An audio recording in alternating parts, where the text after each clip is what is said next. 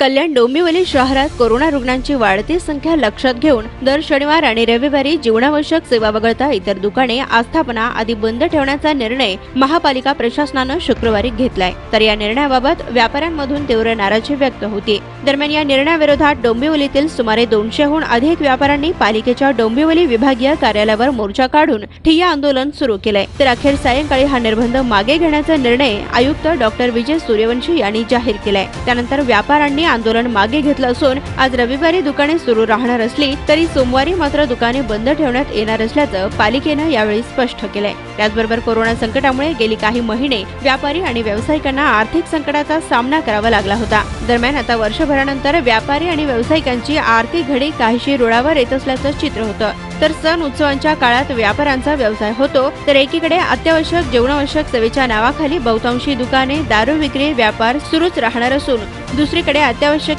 सेवेत येत नसल्यानं जवाहीर कपडा आणि तत्सम दुकाने मात्र बंद राहणार आहेत. हे व्यापाऱ्यांवर अन्याय करणारे असून विवाह हळदी लोकल बसमधील गर्दी यांमुळे कोरोना वाढत असून ही बाब प्रशासनालाही माहीत आहे. आणि कोरोना संसर्गाच्या सर्व नियमांचं आम्ही पालन करून व्यवसाय करतो. मग दुकानांचीच गळचेपी का? असा प्रश्न यावेळी जवाहीर संघटनेचे दिलीप कोठारी यांनी केलाय.